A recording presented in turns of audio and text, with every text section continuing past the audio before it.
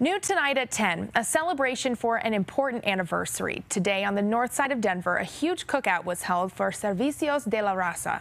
Marissa Armas was there for that celebration and is part of CBS 4's commitment to elevating Latino voices. And Marissa, today's event really does mark an important milestone.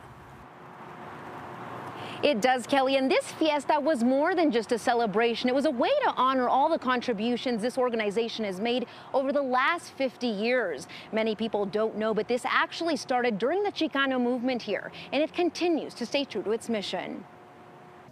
The lowriders' food and music might get the community out, but it's the labor of Servicios de la Raza over the last 50 years that tugs at the heart. Personally, for me, they've helped me enroll into healthcare. They have also helped me with my uh, school. What started in 1972 as a 12 member group offering just mental health services has evolved into a full on statewide human services organization, helping people with food, healthcare, financial assistance, and more. Over 50 years, we've been empowering community and making sure that our people thrive within their circumstances. The Chicano founded Chicano led agency started in the north side to serve not just Latinos, but all underserved communities. We are a strong advocate activist organization. If it hurts people or community, we're standing up and we're giving voice to those people and communities.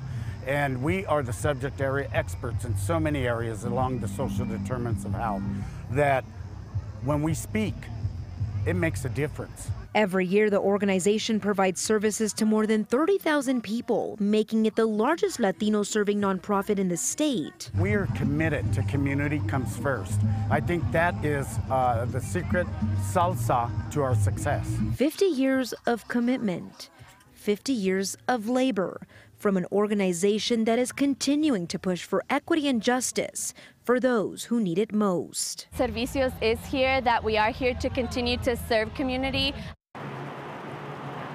Several awards were given to many of our local leaders. Governor Polis also spoke.